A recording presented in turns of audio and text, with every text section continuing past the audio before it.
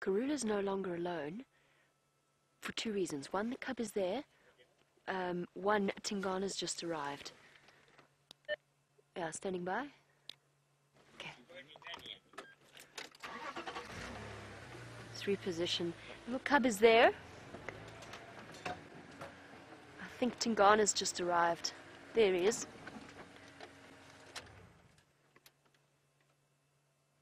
Having a solid sniff around. Okay. Let's go around. Let's reposition. I'm going to move out of the space between Karula and her cubs. He's flehmen grimacing for us. There's...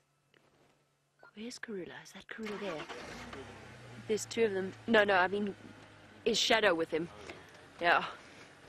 Okay, so her cubs are just here. That's why she was calling. I'm not sure if that is Karula or Shadow. Just hold on one moment. We'll establish it now.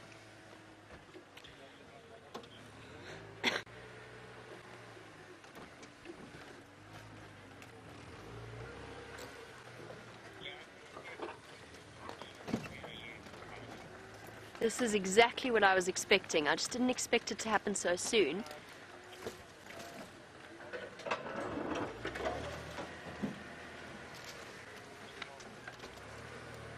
He's going to go up the tree. Where's Karula?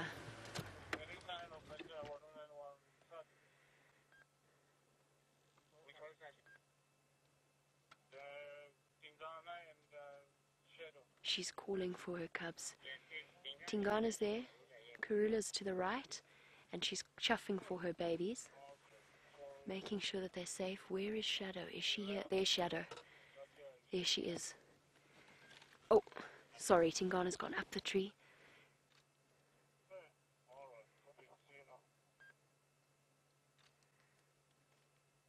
He's going to go and steal from Karula's carcass.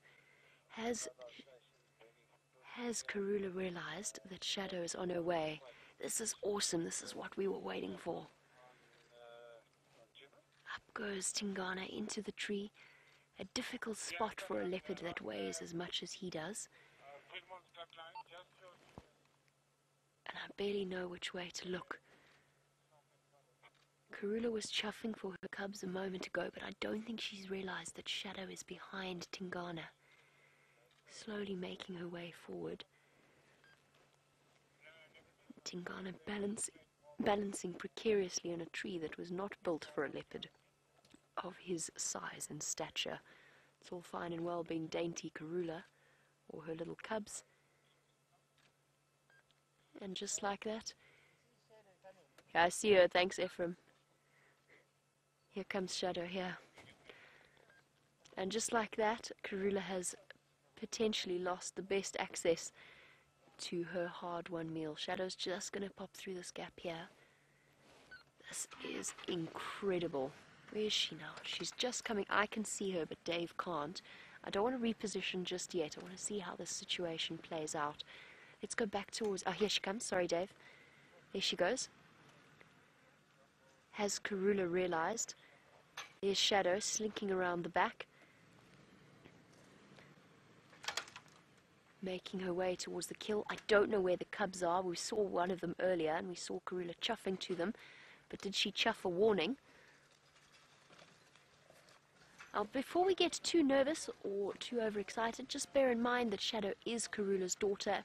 We spoke about sharing kills before, so there's not a major threat to Karula or her cubs in this scenario. It's just a fascinating situation.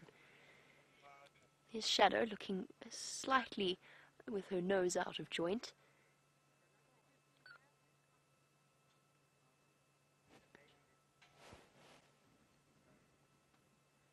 There's Karula, watching the goings on with resignation. And then Tingana has planted himself up in the tree and is tucking into Karula's dinner. Oh, hold on. Sorry, Dave, I know I'm bouncing us all the way back. Look, Karula's spotted shadow. You can see it in her body language. Thoroughly unimpressed.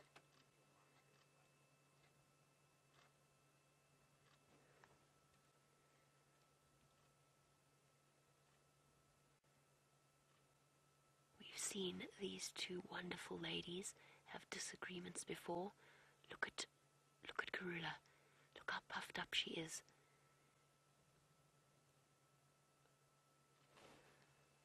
She's heading her off. And Shadow is nobody's fool. He's not going to mess with Mom. She was heading her off, that was the direction that her cubs are in, and she's immediately blocking her, doing what we saw Shadow do with Sindile when he first encountered her. Okay, we're going to reposition a moment just to give you an idea of what's happening. Oh, Shadow's on the run. Off she goes, pursued by Karula. Oh! And there she goes. Disappearing round the side of the termite mound. Oh, and on that situation, and Tingana's just nearly fallen out of the tree. It's just the most incredible scene. The male leopard is far more interested in filling his stomach than with the negotiations of the various leopards. Ephraim tells me that Shadow is still running to the west. Sh- Tingana's up in the tree. Karula is chasing Shadow away. And what an amazing situation of dynamics here at play. A mother, a daughter, two young cubs that we can't see at the moment, and one big male who's far interested in the food.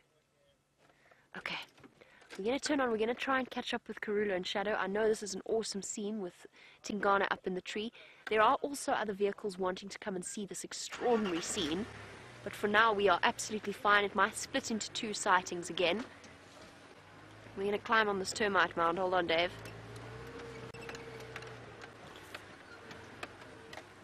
This has been incredible. This is what I was waiting for. I was so desperate not to leave. I... Hello.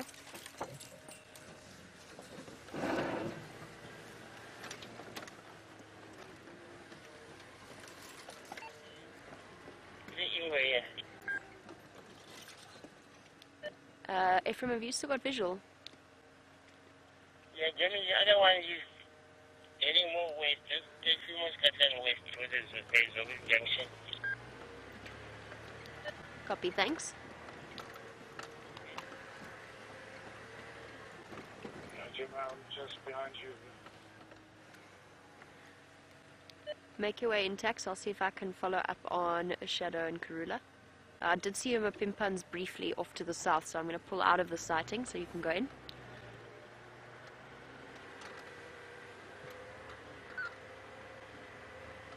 Sorry, everybody, we've got to make space for the other vehicles as well. Taxon has just arrived. And where did Shadow and Karula go? We've all got to keep our eyes peeled. What an incredible way that this afternoon has played out.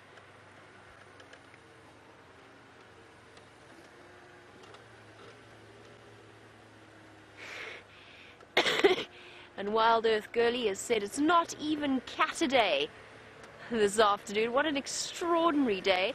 Five different leopards. One sighting. Negative Tex. Um, Tingana's up in the tree with a kill. Uh, the cubs were southeast of his that position. And then Karula and Shadow were running this way.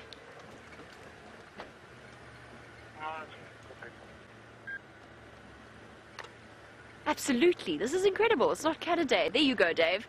I knew there was a there was a reason. Something was telling me that something was going to happen.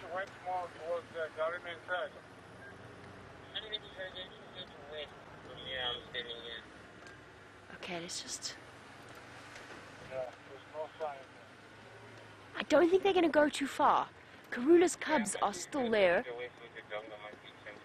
She's not going to want to run too far away. But Shadow might have, and Shadow could have jumped this road in one stride if she was desperate to get away.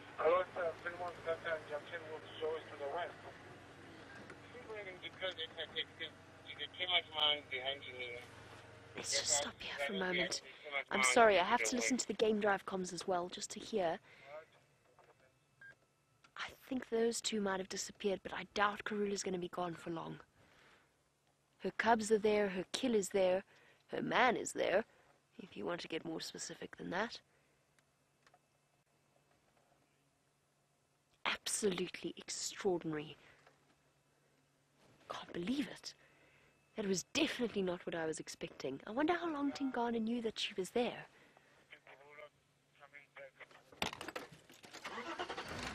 Shadow's gone, Karula's coming back. Hold on, everybody.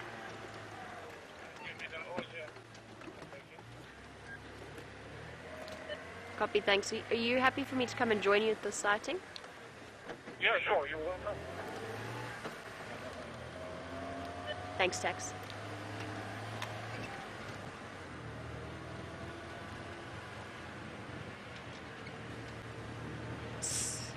Where is she gone?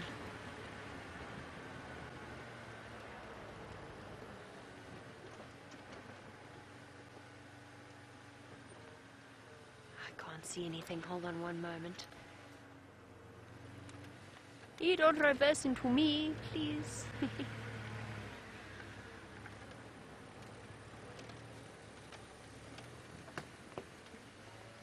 And Kerry, while we go and try and figure out exactly where Karula has gone following behind Taxus. I'm being silly. This is silly. Let's go back to the. Oh, there they go. Oh, there they are. There, right there. I thought I was being silly, but I'm not. They're both here. Or at least one of them's here. Now, Kerry, you were wondering, you know why Tingana followed or came towards Karula, but why did Shadow join in? And the answer is because that is the imperative of a female leopard in estrus. She follows the male. And that's why we so often, when we've got mating leopards, just going to keep a little bit of distance. Shadow's going to be unsettled. She's going to be upset.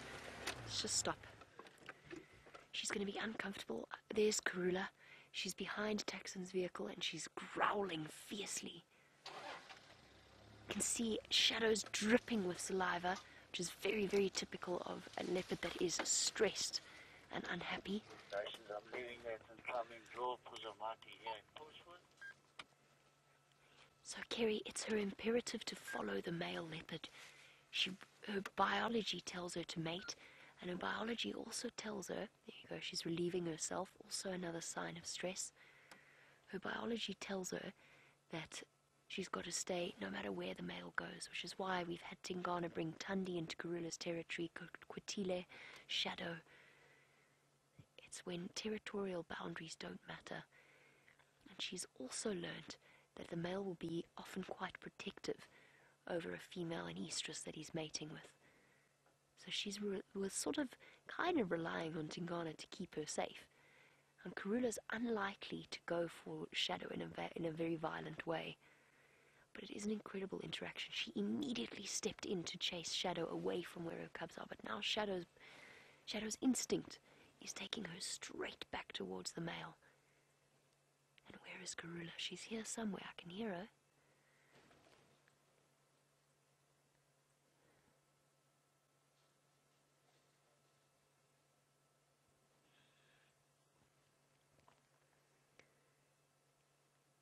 And Monique in London, yes, absolutely. Typically, a male leopard would be more of a threat.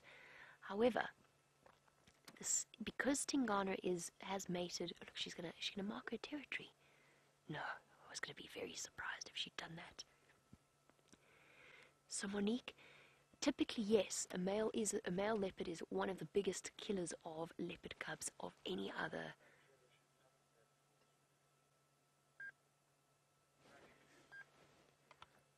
Okay, let's go around. Sorry, guys. Of leopard cubs than any other predator. However, in this situation, leopards are more territorial with other females. There's Karula. Just a spotted cat hiding away. Where are her cubs, I wonder? Can you see her at all there, Dave? I'm going to go back towards Tingana. This is so hard to know where to go. She's just. There we go, I'll be able to show you here. Quickly show you. There she's up.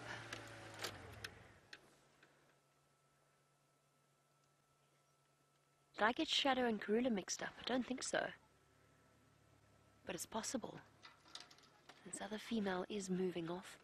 So Monique, she's more threatened by Shadow because Shadow is a female. in her territory, and it's basically natural instinct. They're more territorial towards females and not at all towards males. She's going to mark her territory. So a male leopard's territory, as, as I know you know, encompasses that of several different females. So she knows Tingana, she's not bothered, but Shadow is now in her space with a kill, while she has a kill, and her two cubs. And she acted to prevent that situation from playing out. Uh, Tex, is that Karula with you there, or Shadow? It's Shadow that she's going, but Copy, thanks. Okay, either way, Karula's on her way back as well. It was Shadow that went back.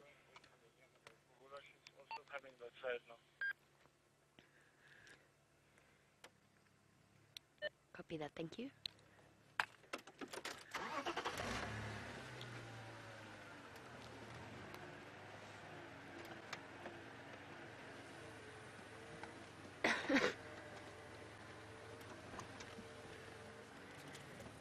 James Dungan? Do I think that this interaction between all three of them will put a halt to Shadow's amorous activities with Tingana and will she have to go and find a new male? That's a very good point because Tingana is not going to shift from that carcass now. There's free food. He's going to do what male leopards do best, all leopards do best, which is scavenge. And he's going to steal Karula's kill. So, James, my answer is no, I don't think so. I think Karula's going to move off and I think she's going to take her cubs with her. And she's going to leave Tingana and Shadow with this particular kill. That's my suggestion as to what's going to happen here. We'll have to wait and see how the scenario plays out. I'm sorry, I do have to be on the Game Drive channel. I need to clarify something with Tex first.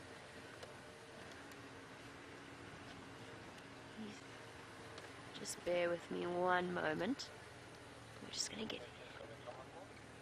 Okay. Here comes. Here comes Shadow. Or is that Karula? I've lost track now. Just hold on one moment. Action, uh, we just went on our game drive now, but I heard something about the Ingwe. Is there a possibility for us to come and have a look? Yeah, I can uh, 10 seconds stand by behind uh, That's Karula, right? I'm not going crazy. for a minute. Yeah. She's not happy. You can see it. Every line of her body is saying this is not exactly what she wanted for her afternoon. Shadow has already made it to the kill, just to give you an idea of what's happening around us. Karula's stalking slowly back towards them, but Tingana is still up in the marula tree, and Shadow is at the base of it. Unfortunately, at some point, we are going to have to give up our spot in the sighting. There are lots and lots of vehicles that are now waiting to come in and join this exciting moment. Mind you, I just wanted to check, are there two locks down here or just one? Well, two locks now, join up to one lock again. Where are you now? Coming down, Mount Scraping her back feet. Ah, Okay, yeah, that's also arrived in there. So yeah, possible coming. Her territory. And then we've got Tingana up in the tree. Oh, no, beautiful. Shame, I feel sorry for her. She knows she's just lost her kill. She knows she's going to have to take her, her cubs away. She's not willing to go down without a fight just yet.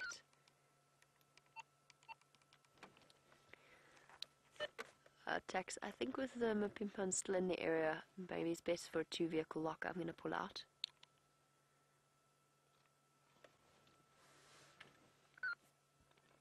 Um,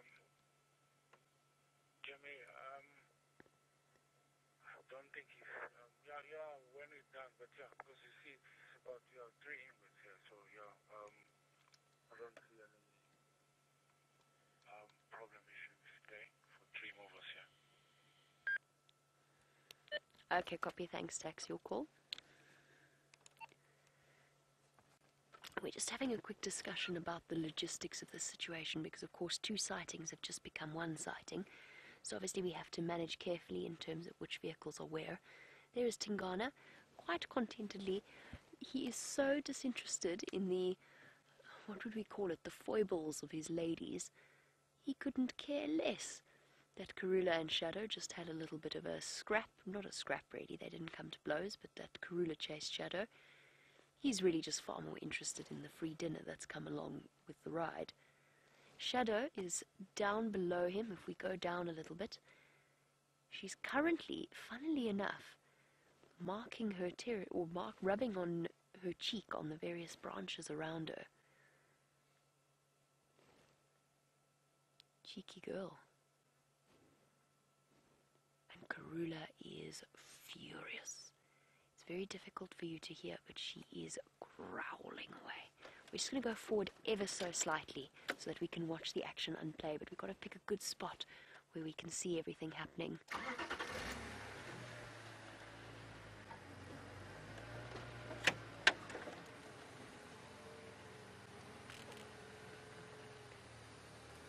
No, girl. Do you mind if I come join you? I know life's not great right now. After all that, you poor thing. Just going very, very slowly. We've got three leopards in the sighting and possibly five. Oh, the queen is blowing spit bubbles once again. If I go there, Dave, can you sort of see her?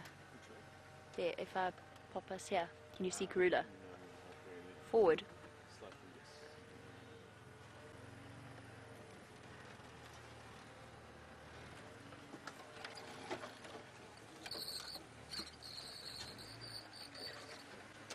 Thank you. So Sharon in Belito, isn't this sighting absolutely incredible? You can see salivating away, relatively stressed about this whole situation. Now, the reason that Karula recognizes Shadow as her daughter is I think leopards know each other, like people know each other. They know which their which is their daughter, and Shadow's going to go up the tree, or she's thinking about going up the tree.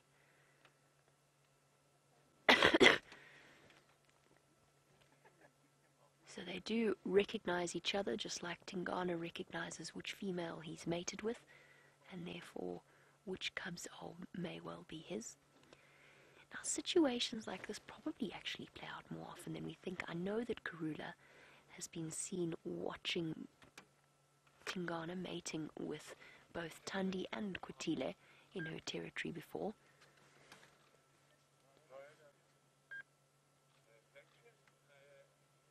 Are you on, uh, on block there or who's the person to talk to? I would like to come uh, around, uh, but it will take me maybe half an hour or so to get there. Is it alright? She's having a, just a jolly good sniff all around her.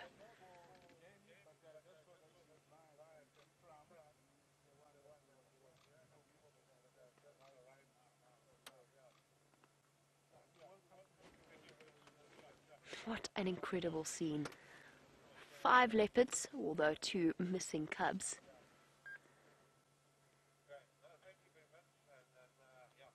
Yes, absolutely. A cat in Tampa, you've got that spot on.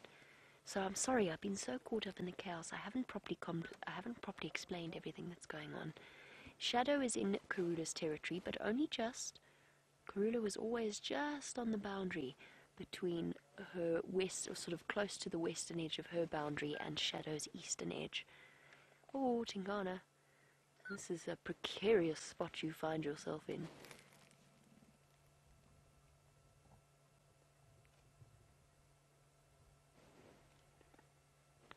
Shadow. Sorry, Karula's so unimpressed. She just started growling next to me. I just wanted to make sure that she wasn't about to dash off. Cat in Tampa, yes. Shadow is in Karula's territory because Tingana brought her here. The Imperator. There you go. You can hear that deep, low rumbling coming from Karula.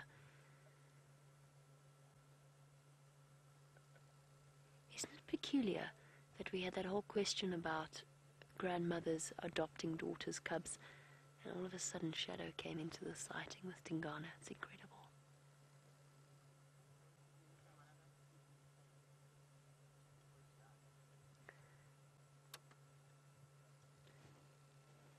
that impala's going to fall out of the tree. Sorry. Don't know where to look. Pick a leopard, everybody. Which one should we look at? I think we should look at Tingana about to drop this impala out. It is... I don't even know how it's holding up there. Oh. Oh. Oh. He saved it. Sort of. It's gonna go. It's gonna go. Bernie, Bernie.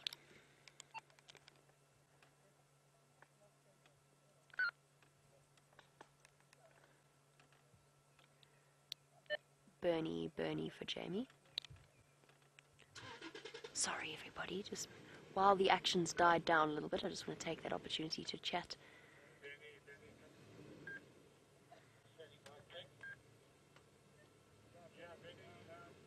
Okay, while I just have a quick chat on the Game Drive channel, let's go across to James and a scavenging